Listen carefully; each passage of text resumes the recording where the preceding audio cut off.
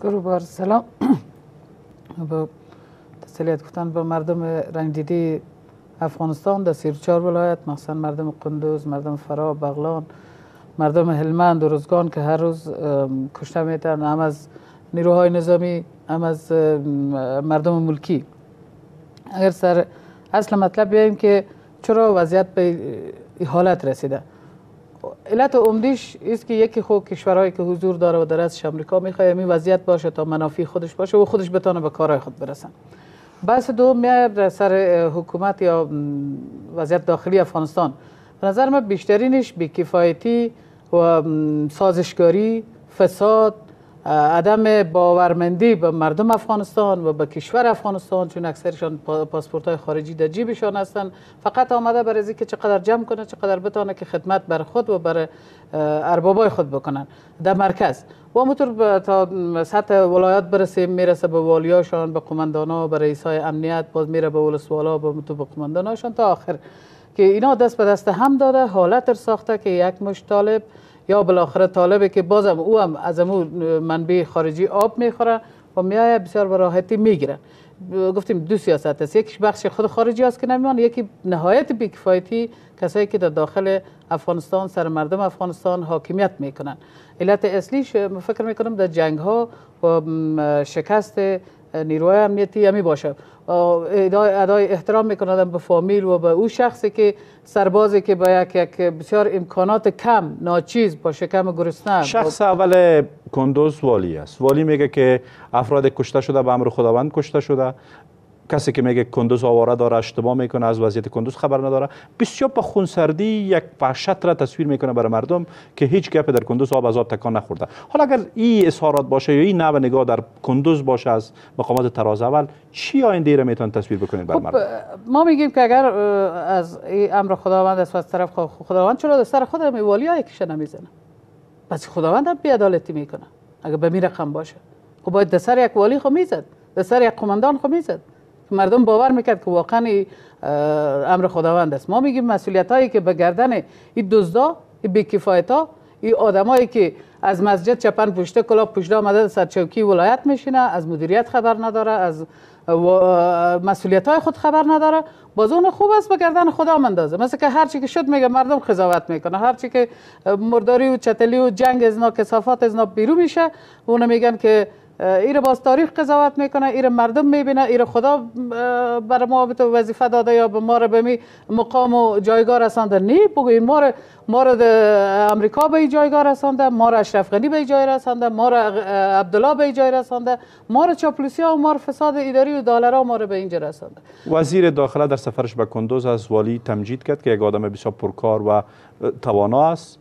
در سطح وزارت داخله و وزارت دفاع هم اتهامات سر هزاران سرباز خیالی که بیشتر پولش به سطح رهبری میریزه. حالا اگر وضعیت به این شکل تداوم پیدا بکنه چقدر می‌تونه دامنی سقوط و تهدیدهای امنیتی در خب شمال بیشتر ما میگیم وقتی که رئیس جمهورش از وزیر خود تعریف می‌کنه وزیرش از قماندان والی خود تعریف می‌کنه همیست که مردم قربانی میشه. پس اینجا چی شد؟ بازم باید مردم خود منطقه یا خود در مجموع مردم افغانستان بخیزه به مقابل این مردم. و جای طالب مقابل اینا باید بخیزن که بس است. تا چی وقت؟ خون فرزند ما رو میرزنه خون خودشان میرزنه خون مردم افغانستان در مجموع ریخته میشه. شما ببینید وضعیت فرار ایران وضعیت قندوز خوب است رسانه های زیاد است خوب است که صدایشان بلند میشه. به هر ترتیبی است وزیر میره اونجا رئیس جمهور میره دیگه ولی ولایت مثل فراوری هیچ کس خبر نمیشه. یعنی مال شما ببینید که در 4 کیلومتری شهر فرام طالب حضور داره. یعنی بیدی یک ساعت پیش از که ما بیایم از مردم که از رج و نوبهار آواره شدن اینا به هزارها فامیل هستن رفتن به, کاریزا به کاریز شیخاست و به کاریز سوخته است به اطراف اینا پراگنده شده مال از اینا مانده چور شده در اینجا. طالب حیوانات از اینا رو بر خود می‌کشن و می‌خورن و مردم عادی لط کوب می‌کنن. شما ببینید که حالت هاست که خود از نا گفتیم وز... قماندان به وزیر خود دروغ میگه وزیر به رئیس خود دروغ میگه رئیس به ارباب خود دروغ میگه. یا در مجموع ساختن. فرار یک سال قبل کمربند که حداقل در مسا و در منطقه دورترش بود. ایرا جنگ سال گذشته واگذار کردن الا دادن مردم درگیر کردن مردم مسا و چقدر کشته شما در جریان بودین که دادن. آمدن به منطقه روکن و نوبار ما خودم حضور داشتم در ولایت که مردم آمد که ما پست های شما را نمی‌خوایم. به خاطر که فردا ما را مثل مردم مسا در میدان میمانه. خب به زور ساختن. شما ببینید بیش از 20 نفر اردوی ملی در یک شب کشته میشه. مهماتشان به دست طالب مفتد چهار تا طالبه که از بکوا قطار میشه موترایشان موترای سراچه بیش از 100 موتر است. ما میگیم این راکت پرانی ها این بمباردمان هایی که امروز می‌کنین. واقعا شما چرا میره وقتی که اینا می آمدن نمی‌کردین؟ چرا مثلا یک ماه دو ماه پیش وضعیت فرا به می حالت سقوط بود؟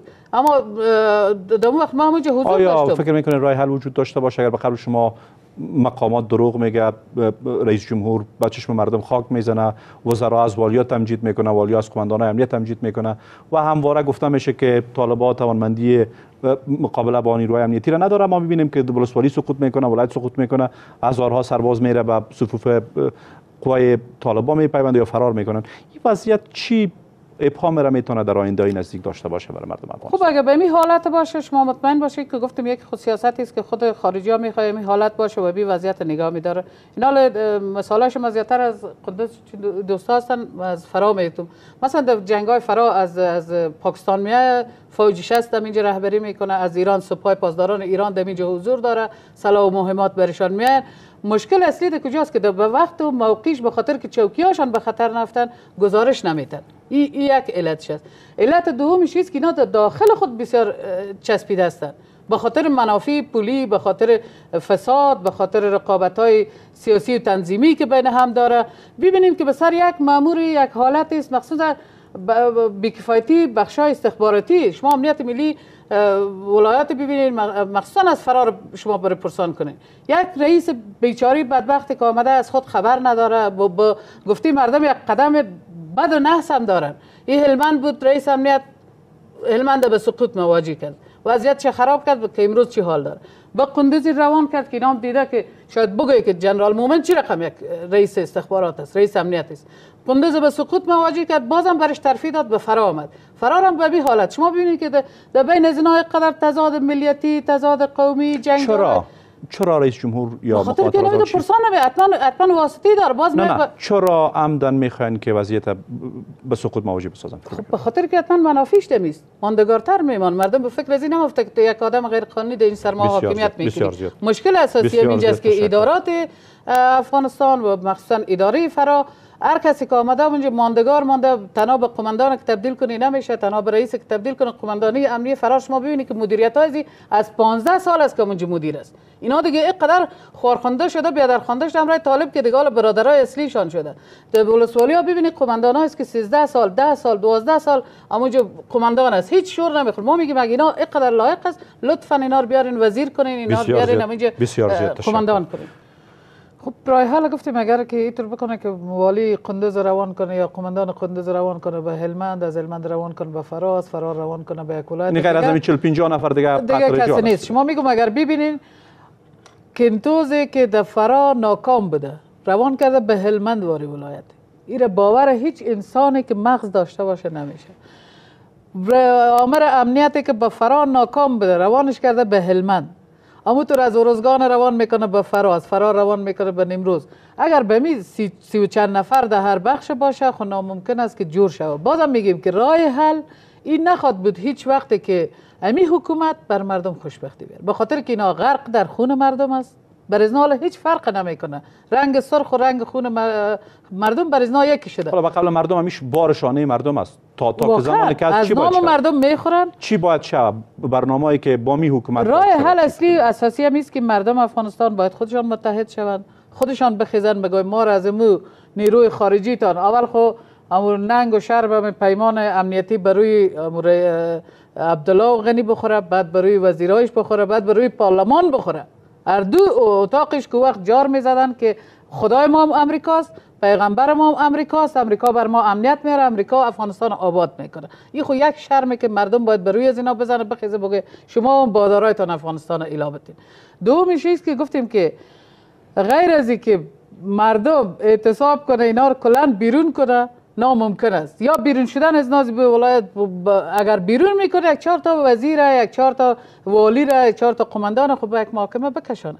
شما مطمئن باشین که گفتیم در جنگ او دفی فرا وقتی که ختمش بود باز امی بود را امی قماندان لست میشه که در 28 درصد اینا رتبه بگیرن اینا مدال بگیرن اینا امکان اما او سرباز او افسر که از گشنگی گفتم منیمال در فرا در چی در بالا بلوک است چی در پشت رود است در کل از اینا از گشنگی از یک طرف نمی‌تونن از عدم امکانات نمی‌تونن که اینا جنگ کنن یا دفاع کنن. یعنی مال قری رج مثلا بیشترین طالب آمده که خانه مردم گرفتن مردم آواره شدن. اما سه طرفش دولت گرفتن یک طرفش باز مانده برش که هم کمک برشان برسه و هم بتانه که راحت باز فردا فرار کنن. اینا پس جوابگوی خون از مردم کیست؟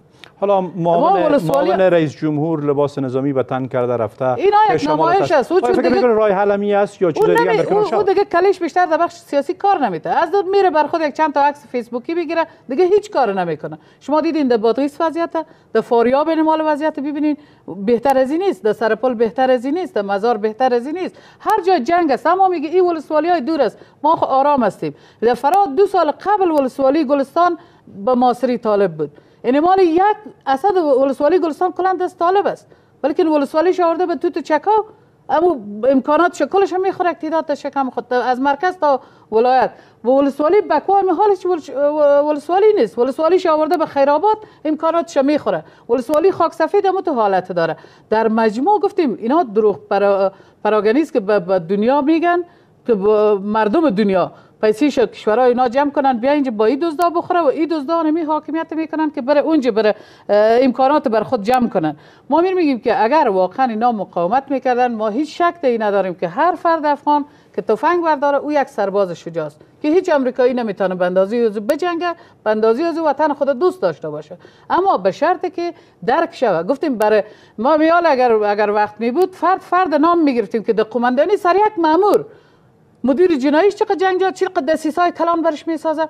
قماندان امنیت چقدر سختگیری می‌کنه. رئیس امنیت چقدر سر مامور عادی سختگیری می‌گیره. که حاضر است که بیال با طالب بپیونده. حاضر است که بره فرار کنه به ایران میرن. بنان ما میگیم که افسرای پایین رتبه او ضابطای بیچاره او سرباز بیچاره. هیچ کس گپش گوش نمی‌کنه. در برای یک مدیر رتبه چهارم تا رهبرای سیاسی را واسطه میشن. واسطه بیشتر انتصابا هم بر اساس واسطه و تقسیمات. واقعا حالا حالا این وضعیت دامنه چی را در قبال خواهد داشت. سقوط بیشتر ممکن است که ولایت هم سقوط بکنه یا فکر می‌کنید که اگر راه چاره را یا ولایت حکومت افغانستان یا مردم افغانستان؟ ما میگیم که ده ولسوالی داره از فرا. وقتی که به آرامی مردم برای رفته نتونه به منطقه خود. این ولایت که تنها آرام باشه به چی دردی می‌خوره؟ وقتی که اینا از ترس زندانی های خود ببره دلیوا پت کنن که باش که شاید سقوط کنه خودشان قدر تردید داشته باشه. این که شهر ظاهرا جور باشه. چی کنیم؟ ما میگیم که هلمند که صداش کس نمیشنه و روزگان که هیچ خبر نداره مردم ازش بسیار اینا کی می‌تونه که